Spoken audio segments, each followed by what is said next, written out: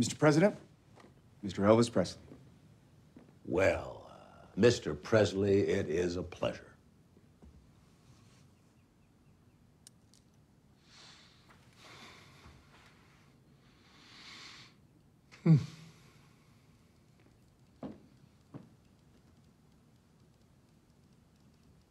Oh, you know what that is? That's a moon rock.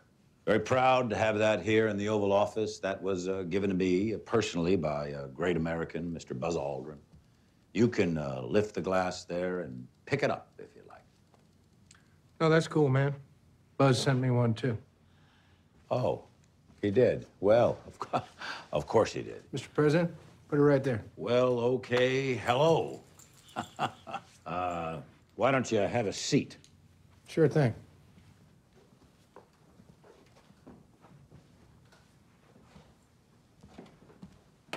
It's a great place you got here, huh? Well, it's really the people's house. No, I'm just a temporary guest, as they say. That's right. I was telling one of the gals outside, it reminds me of my Graceland. Oh, uh, it does, does it? Uh, how many square feet uh, is uh, this uh, Graceland of yours? Not sure. 10,000, maybe? Well, that is a fine size for a home, isn't it? Well, it's, I mean, it's more than fine. Of course, the White House here is, I think, about uh, 55,000 feet, something like that. Well, actually, I've made a few additions, so uh, maybe a little more than that, but I don't think it's the size of a man's home that defines him, you know? M&M's are my favorite. Oh, mine too. so, Mr. Presley, how can I help you? Well, Mr. President, first of all, I want to tell you what an honor it is to be in your presence. Do you have a bottle opener? Oh, well, there should have been uh, one. Uh, maybe you could run out and get him one, Krogh. Yes, Mr. President. Oh, and uh, get a Dr. Pepper for me, too. It's on its way.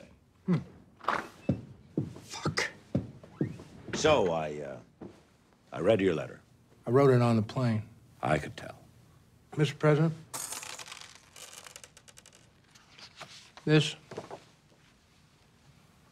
is my little angel, Lisa Marie. She's two years old. Well, she is a beautiful little girl. Yes, sir. She's my pride and joy. And this is my beautiful wife, Cilla. Oh, well, she is very charming. Mr. President, Bud, Mr. Presley. these M&Ms are great. Good to hear, Mr. Presley. You got some good fellows working for you, Mr. President. My guys are outside. Thank you. So, uh, as I really do need to be going, we should probably get what you wanted.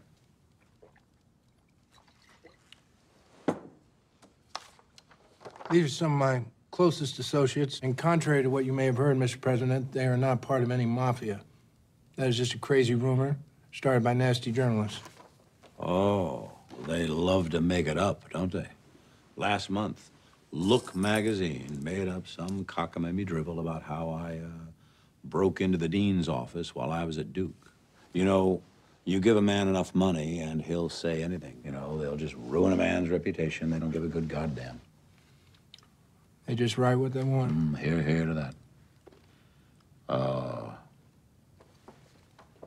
everyone has a badge. Mr. President, I've shown you these photos because I'm deeply concerned about the direction our great nation is taking. Yes, of course. Now, I'm uh, gonna need an autograph for uh, my Julie. That's your family there?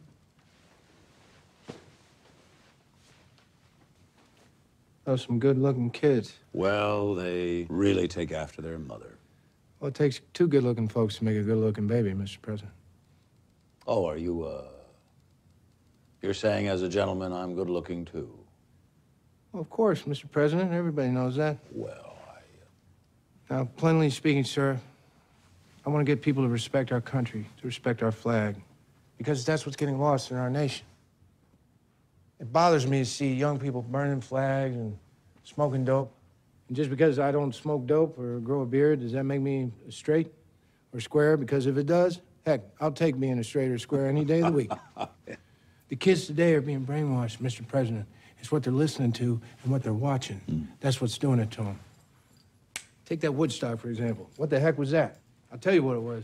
It was an excuse to get naked, get high, and roll around in the mud. Well, I'm with you there. Four, three, two, one.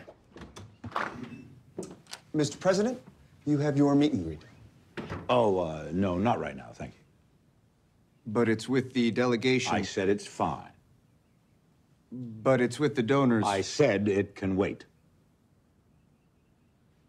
Oh, and uh, Krogh, uh, make sure uh, that we get a picture with uh, Mr. Presley and me. Ollie's outside. He's ready for you. No pictures. Uh, Mr. Presley, it's standard for us. I understand, Bud, but not today. Now, if you don't mind,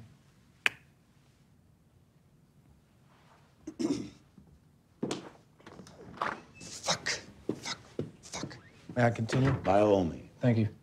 I have it on very good authority that many of the so-called underground groups have been infiltrated by communists. Oh, Yes, sir, and I find it downright anti-American. Just like the Beatles. the Beatles. Well, I don't like them. They are anti-American. Hmm. Possibly with communist leanings. Well, just look at them. Let's look at the facts, Mr. President. After coming here and making all that money, they split back to England. Start saying all this anti-American stuff, speaking against us in the press. Well, some people think they can say anything. Specifically about our policies in Southeast Asia, sir. Did you know that? I did not know that. It was Lenin. Kids think he's some kind of prophet. And, well, what I'm trying to say is, sir, they may not actually be in the employ of the communists, but if encouraging revolution doesn't sound like subversive propaganda, I don't know what is. Well, right, yes. See, I've been studying communist brainwashing techniques for over 10 years now. And the drug culture, too, Mr. President. And it's my belief that if we don't do something to handle this situation very quickly, it could very easily get out of hand. Well, you want to know why the hell the communists are so against drugs? It's because they love to booze. Especially the Russians. I've seen it. You talk about out of hand. And that's why uh, the communists and the left wingers are clinging to one another because they're trying to destroy us, Elvis. I know, sir. Good, honest Americans. They hate us. They don't hate us, Elvis. They uh, hate what we stand for. I mean, you and me, we rose from nothing. My pa worked in a grocery store. Your father was a sharecropper, yes? Whole slew of things, Well, I think we were both somewhat loners. And look where I am today, and look where you are. Well, a lefty sees that, and instead of wanting to walk in our footsteps, why, uh, they get jealous. It Brings all their failures up bubbling right in front of their faces. And, uh, well, so of course, uh, they react like caged animals because that's what they are just animals. I know, sir. and I want to help to stop it. Well, I think that is just great. Absolutely. So, uh, my boys were telling me uh, something like a concert, a telethon, a television special. No, sir. I want to go undercover. Undercover. Yes. Oh, you want to be an actual. I'm sorry, you want to what? I want to be an agent at large. You see, if I can get a federal narcotics badge, it's my belief that I could protect this nation from sliding into anarchy. Well, uh, I. Uh, Let's say I could infiltrate a band or a hippie commune or as a spy or double agent, something like that. Only disguising myself as one of them, hiding my own true feelings. yeah, I'm not sure uh, how. Let's say the Rolling Stones or the Grateful Dead or maybe even the Black Panthers. Heck, I could probably slip from one group to the other without even being detected. And then, just when they let their guard down, I'd bust them. I'd bust them all. Of course, I would have to be so deep undercover so that no one would know it was me. But in order for that to happen, nobody, I mean, nobody can know about this on the outside, just a select few. You, of course, Mr. President, and, and maybe Mr. Hoover. How much longer is this gonna take? Is there uh, any way we can speed this up? You want me to tell the President of the United States to speed it up?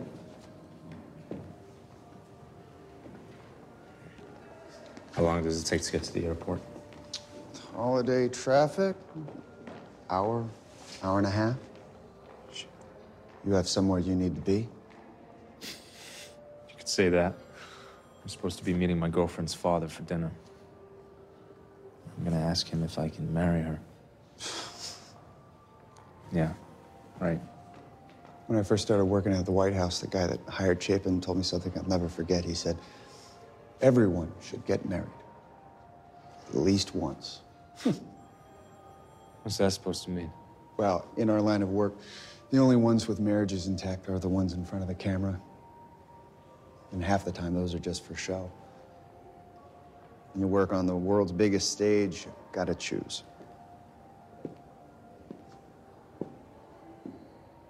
You know, um, I got in a motorcycle accident a couple years back in LA. A gossip columnist broke the story. One of Elvis's buddies gets in a motorcycle accident and breaks his pelvis. Good thing it wasn't Elvis. Yeah. But I carried around that article in my pocket for years. Because it was the first time that me and him were actually mentioned in a magazine together. I was actually proud. So sad.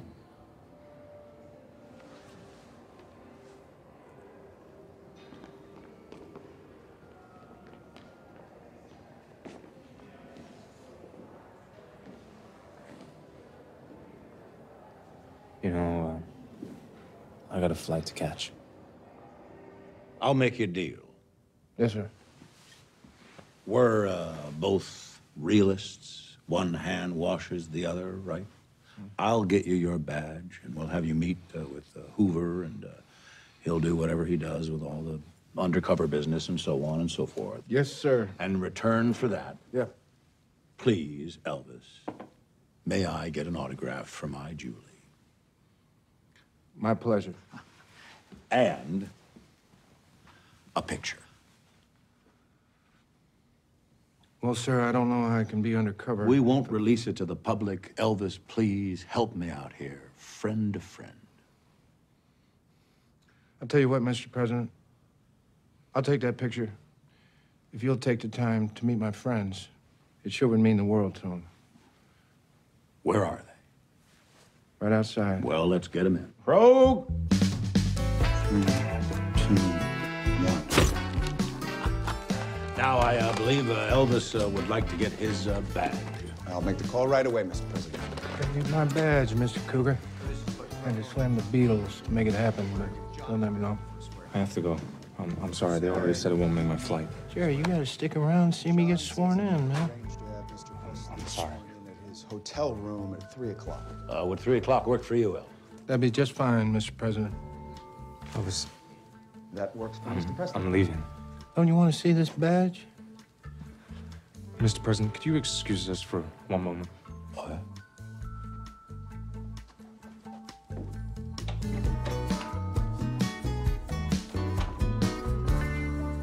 Mr. President. Jesus, Jerry, you're embarrassing the hell out of me, man. What's Gibbs? A badge? Yeah, Yeah. I get it. You want a badge. Congratulations, you got it. But now I gotta go home. Well, let me ask you something, Jerry. What exactly are you rushing home for? My life, Charlotte. I'm gonna ask you to marry me. Jerry, that's fantastic. Yeah, that's fantastic, man. Hey, hey, I'll tell you what. Charlotte likes horses, right? I'm gonna call her up and give her the good news myself. I'm gonna buy you guys a ranch right outside Memphis.